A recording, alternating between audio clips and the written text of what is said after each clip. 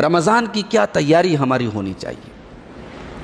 दुनिया में जब कोई बड़ा ओकेशन होता है, कोई बड़ा मौका होता है, हम बड़ी तैयारियाँ करते हैं पहले से।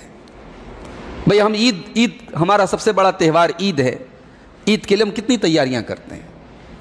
तो ये जो रमज़ान है, ये भी एक सीज़न है। ये भी अल्लाह ताला की तरफ़ से एक मौसम मिला है हमें, नेकियों का मौसम है। अपने गुनाहों को बख्शवाने का मौसम है। अल्लाह को राज़ी करने का मौसम है। इस रमज़ान के लिए हम अपने आप को कैसे तैयार करें, इस पर मैं चाहता हूँ कि थोड़ी सी आज आपके सामने बात करूँ। सबसे पहली बात तो आप अपने दिमाग में ये रखें कि हमें और आपको अल्लाह ताला ने चुन लिया है। अगर हमारी ज़िंदगी में एक और रमज़ान आ रहा है तो भाई ये कोई मामूली बात नहीं है, बड़े खुश नसीब हैं हम और आप। हमारे और आपके बीच में से ही बहुत सारे मर्द, बहुत सारी औरतें, बहुत सारे जवान, बहुत सारे बूढ़े पिछले रमज़ान में थे, इस बार नहीं है वो। अल्लाह चाहता तो हमें भी उठा लेता भाई। हमारा कोई अख्तियार थोड़ी है। मौत पूछ के तो नहीं आती। हम ज़िंदा हैं, सही सलामत हैं, रोज़ा रख सकते हैं, तरावी पढ़ सकते हैं, रमज़ान का हक अदा कर सकते हैं। अल्लाह की बहुत बड़ी नेमत हमें और आपको मिली है। एक आदमी हज करके आता है, हम बहुत मुबारकबाद देते भाई, आप हज करके आए हैं, अल्लाह के घर की जियारत करके आए हैं, उम्र करके आता हम बड़ी मुबारकबाद देते हैं। तो भाई, हम सब भी मुबारकबाद के लायक हैं। अल्लाह एक और रमज़ान हमें दे रहा है। हमारी ज़िंदगी में एक और रमज़ान आ रहा है। ये खुश नसीबी की बात है, ये मुबारकबाद के लायक बात है।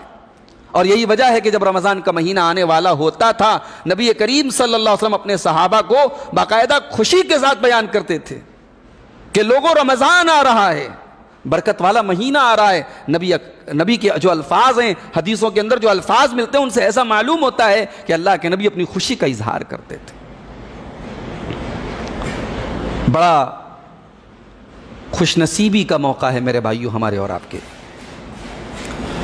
आप इब्ने माजा की वो हदीस अपने सामने रखें। हज़रत तलहा रज़ी अल्लाह तु बयान करते हैं कि अल्लाह के रसूल के पास दो लोग आए। दो लोग आए, दोनों ने साथ में इस्लाम कबूल किया। हदीस में वजाहत नहीं है, बाज ने लिखा दोनों सगे भाई थे। तो दो भाई थे, या ये कह लीजिए, एक कबीले के थे, एक खानदान के थे, दोनों ने साथ में इस्लाम कबूल किया। और दोनों में से एक भाई जो था, वो दीन के मामले में ज़्यादा एक्टिव था।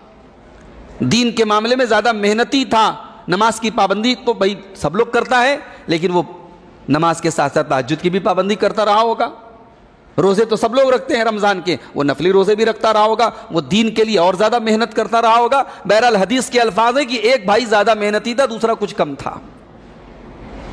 तो जो भाई ज़्यादा मेहनती था, वो अल्लाह की राह में लड़ते लड़ते शहीद हो गया। और उसके एक साल के बाद उसका जो दूसरा भाई था, जो उसके मुकाबले में थोड़ा कम मेहनती था वो जो है, एक साल के बाद अपनी नेचुरल डेथ फितरी तौर पे तबई तौर पे जो मौत सबको आती है, वो मौत उसको आई, यानी वो शहीद नहीं हुआ, वो अपनी नेचुरल मौत से उसका इंतकाल हुआ। अब हज़रत तलहा कहते हैं, अल्लाह ताला की तरफ़ से मुझे ये ख्वाब दिखाया गया कि मैं जन्नत के दरवाजे पर खड़ा हूँ।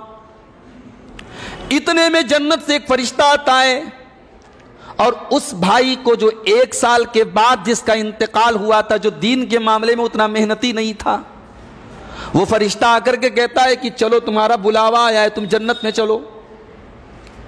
उसके बाद फिर वो उसको लेकर के गया, जो अल्लाह की राह में शहीद हुआ था, जो ज़्यादा मेहनती था, उसके बाद उसको वो जन्नत में लेकर के गया। फिर वो मेरे पास आया और उसने कहा कि अभी तुम्हारे जन्नत में जाने का वक्त नहीं आया, अभी तुम्हें जन्नत में एंट्री नहीं मिलेगी। हज़रत तलहा कहते हैं, सुबह जब हुई तो मैंने अपना यह ख्वाब लोगों को बताया कि मैंने ऐसा ऐसा ख्वाब देखा है।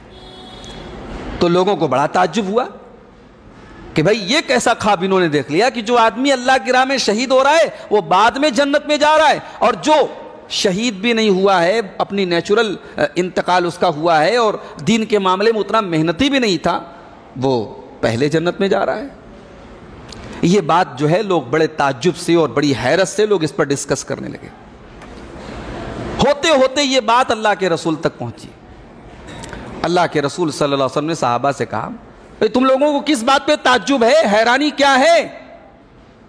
साहबा ने कहा कि अल्लाह के रसूल, हैरानी यही है कि जो अल्लाह की राह में शहीद हो रहा है, जो दीन के मामले में ज़्यादा मेहनत कर रहा है, वो पहले ना जाकर के बाद में जन्नत में जा रहा है और कमज़ोर वाला पहले जन्नत में जा रहा है, ये हम लोगों को मामा समझ में नहीं आया। ये हैरानी की बात है।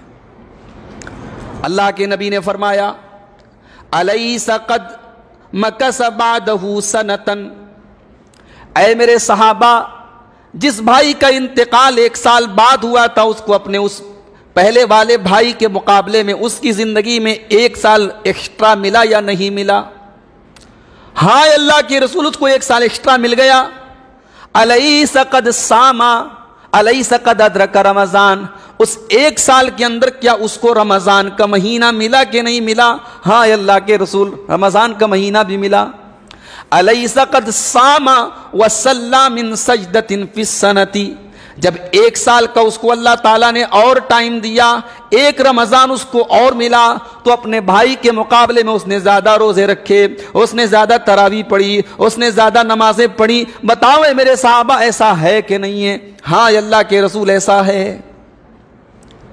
अब नबी ने जो अल्फाज इस्तेमाल किए मेरे भाइयों, वो हमें और आपको सुनने के लायक अल्लाह के नबी ने फरमाया फ़कान मा बैनहुमा बई बैन समा इवल अर्दी ऐ मेरे सहाबा, जब एक साल उसको ज़्यादा मिला और एक रमज़ान उसको ज़्यादा मिला और एक साल की इबादतें उसने ज़्यादा की हैं तो फिर कान खोल करके सुन लो, उन दोनों के मकाम और मर्तबे के बीच में उतना ही फासला है जितना आसमान और ज़मीन के दरमियान फासला है। आसमान और ज़मीन के दरमियान बे इंतहा फासला है तो उसी तरीके से उन दोनों भाइयों के मकाम और मर्तबे में भी बे इंतहा फासला है। अल्लाह अकबर। एक रमज़ान सिर्फ़ ज़्यादा मिला। अल्लाह के रसूल कह रहे हैं, उसको वो दर्जा नहीं मिल सकता है, जो वो रमज़ान उसको नहीं मिला, जिसको नहीं मिला, वो दर्जा वो पा ही नहीं सकता है।